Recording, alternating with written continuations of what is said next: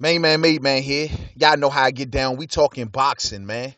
So it seems as if the latest tactic nowadays, ladies and gentlemen, ever especially ever since like all of these cold wars ended, you know, and a lot of reason as of today why we're not getting a lot of fights is because what a lot of these fighters are tending to do now is the tactic they're choosing to employ when they really don't want to face a person, they're pricing themselves out of fights left and right.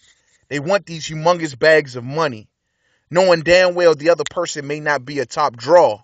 And so they ask for an astronomical amount of money, knowing that that other person cannot fit that bill. So they walk away from the fight looking like, hey, man, well, I wanted to fight him, but I just wasn't going to make any money there, man. Clearly covering themselves with that type of excuse and not thinking that it's a duck for those purposes. Now, I'm fully one to believe that if you are a champion or if you consider yourself a star in boxing, just being talented now ain't enough, man. It ain't enough no more. You know what I'm saying? You have to be not only good with your skills, but you got to have a sense of marketability about yourself, man. It takes both of these things combined to to produce a boxing star today, man. And this is the reason that if you guys have noticed right before the Carl Frampton and uh, Leo Santa Cruz fight, Gary Russell and Lee Selby was on a panel together. And now Lee Selby is the IBF featherweight champion, and Gary Russell is the WBC featherweight champion.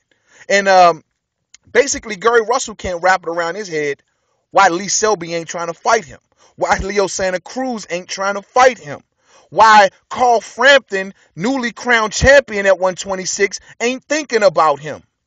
Why is this, ladies and gentlemen? And I say to myself, Gary Russell is the WBC. Gary Russell said to Lee Selby on that same panel, you running around telling everybody the reason you won't fight me basically because I'm not known. And I'm paraphrasing it. I'm not known. Yet I hold the WBC money belt. I hold the most respected belt of any weight class, which is the WBC. And you claim you don't want to face me because I'm not popular enough. What kind of shit is that, right? You would thought at one point in time that everyone who was a boxer, whatever weight class you fought in, you wanted that green belt, man. You wanted that WBC belt. But in today's boxing, in the post Pacquiao Mayweather fight era, you know what I'm saying? These motherfuckers want money. Fuck belts, fuck rankings, fuck standings, fuck legacy. I want money. If the money ain't in the bag, we got no fight. I don't care who you are. So when fighters get a lesser guy, and I hate to use this because this is a world renowned example, but I, this, this is the first one that comes to mind. When Danny Garcia faced Rod Salka, he wanted a he got over a million dollar payday for that fight, right? So if they're going to fight lower tier guys, they're still making a million dollars. Well, we have Uncle Al Haymon to thank for that, ladies and gentlemen, by Uh, raising the prices of all of his fighters now having fighters price themselves out from other networks and other promoters. You know what i mean? We have uncle that was his model. Make no misunderstandings about it. He said that from the beginning. This is the reason why the pbc fighters get the fat checks because now they've priced themselves out of the market. And so now these guys when they fight lower tier guys they want a million or better in a lot of cases nowadays. So whenever they get in there with a dude who may be in their same weight class, a fellow champion, such as you have at 126, which you got with Gary Russell and Lee Selby. Instead of Lee Selby going for the most respected WBC belt, he like, fuck Gary Russell, man. I'm going over here to Carl Frampton, where it will be a big fight in the UK. It'll be a big bag of money, and it'll be a, a unification match which also would have been the case between him and Gary Russell. Now, take in mind, Lee Selby had no reason not to face Gary Russell uh, in the meantime, between time, before this fight, before the Leo Santa Cruz and Carl Frampton fight. Lee Selby and Gary Russell could have got it on then. But nothing happened. Nothing happened, ladies and gentlemen. So, you know, I don't know, you know, I, I don't understand what the call is. I, I, I'm I'm still kind of catching up with the modern day boxer in a way that's chasing this bag of money when a lot of these guys just don't deserve it. But clearly, Gary Russell called out Lee Selby in front of the world and put it to his face right then and there. Now, I do respect the response of Lee Selby, and he responded extremely articulate. But I don't know, man. Is he right or is he wrong? Or am I wrong on here? I want to see him face Gary Russell Jr. I want to see all those 126 fighters face Gary Russell Jr. But however, Gary Russell isn't the most popular fighter. He's just not. He, he has all the skills in the world. I think he whitewashes all of their asses. I think he beats Cruz. I think he beats Frampton. I think Frampton gives him trouble, but I think he beats Frampton. I think he beats uh, Lee Selby. He beats all of these guys, man.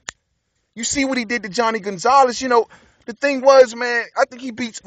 Bottom line is, I think he beats all of these guys, man. And these guys know it. So in order for them to take a fight with Russell, the bag has to be the money has to be in the bag. And Gary Russell's popularity just don't allow the money to quite be in the bag. You know what I'm saying?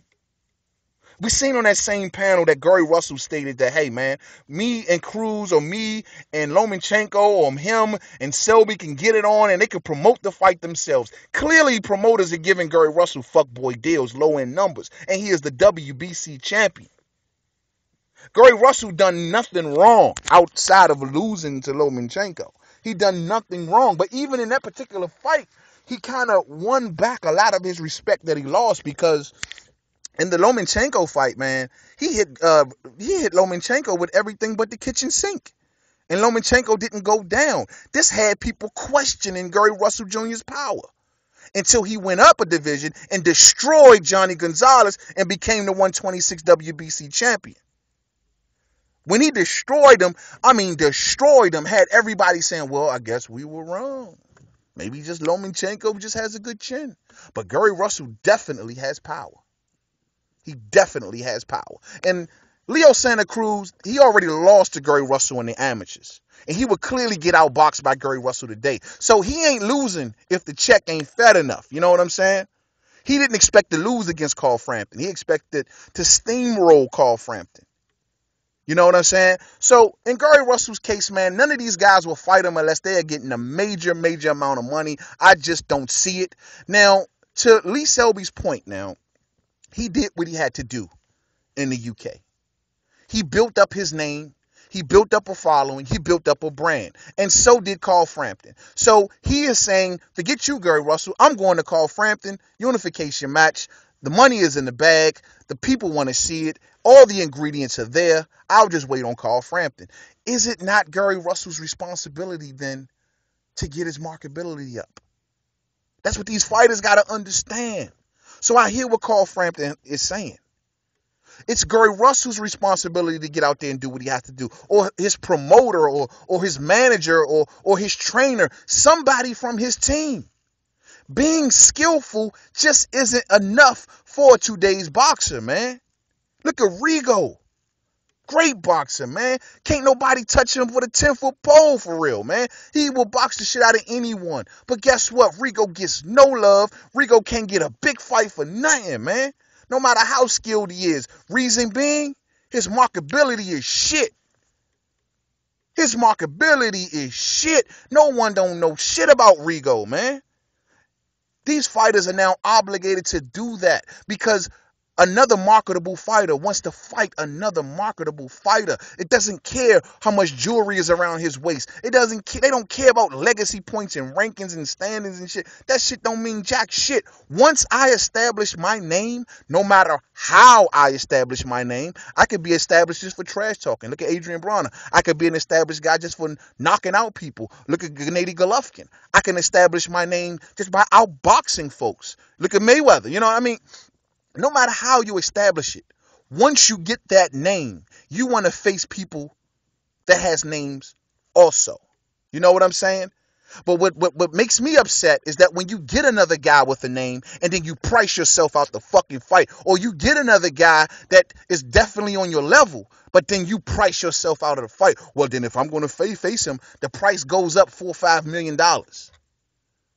You see what I'm saying?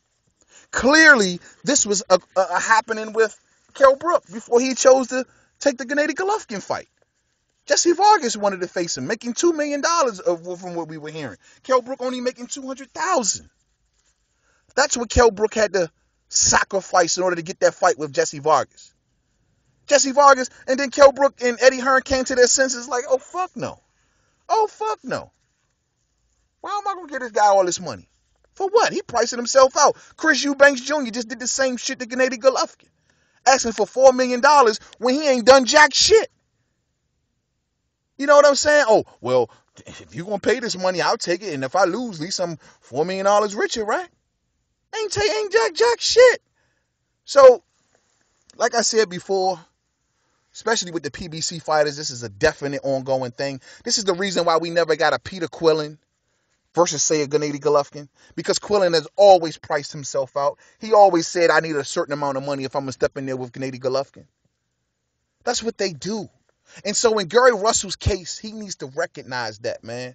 Him trying to cut the promoter out of the way is just one way to kind of enhance that bag of money, but he's got to put the markability with it. He got to sell himself, man. He needs to get in front of these cameras, talk a little more trash. According to Gary Russell, man, he doesn't even know about a lot of these guys because he don't even watch boxing. He he he he wraps himself into his family life and doesn't doing things for his family, which is a commendable and great great thing but it kind of leaves his career kind of hanging in the balance because eh, there's not much talk or promotion going on when it comes to Gary Russell. Even though, make no misunderstandings about it, just like Rigondeaux down at 122, I think Gary Russell beats everyone at 126. No ifs, ands, or buts, with Carl Frampton being the toughest fight at 126, at least as of this time. And that's just what I say. And uh, according to Gary Russell, man, you know, after he finished, if he can get a fight with any of these pussies at 126, he is then leaving and he is heading his ass up to go hunt down Lomachenko. Hunt his ass down, and Gary Russell need to get on his put his foot on the gas when it comes to this because Lomachenko is getting better every fucking fight, man. This dude is running through divisions. He's hunting down champions. He's knocking these motherfuckers out. And Gary Russell need to get to this guy fast. You know what I'm saying? fucking fast. But I hope one of the champions at 126 give my dude Gary Russell, man, a chance and give him a chance to unify, and become a unified champion. And uh, I know these dudes are just pussy and they're, and they're afraid of the dude. And let's just be honest, I'm not saying that just because I'm from DC. I'm giving it the eye test and I'm looking at this thing and I'm saying Gary Russell, he is just too fucking fast for everyone at 126, man. Just too fast, and he has good power. He just will outbox these guys, man. And these guys either going to price themselves out or they're not going to give my guy a fucking fair shot, man. Simple as that, man. To the next video, Main Man Made Man. Don't forget to subscribe. Twitter, Made Man 511. Facebook, Main Man Made Man Boxing Forum. Google Plus, Main Man Made Man. You know, the question then has has to be uh, is what Lee Selby or what Lee Selby said it did, is that considered a duck? To be quite frankly, I can't say that. And I, I like I said before, man, I understand exactly where Lee Selby is coming. He established his name in the UK. Carl Frampton did the same thing. They not only became champions, but they became marketable champions. And uh, given that that's what they did and they put that type of work in, they deserve each other and they deserve the money that comes with the bag. And unfortunately, it hurts me to say it. I hold my I close my eyes and I hold my nose, but I understand exactly where Lee Selby is coming from. But don't think for a second that Lee Selby beats Gary Russell because the answer to that is hell no.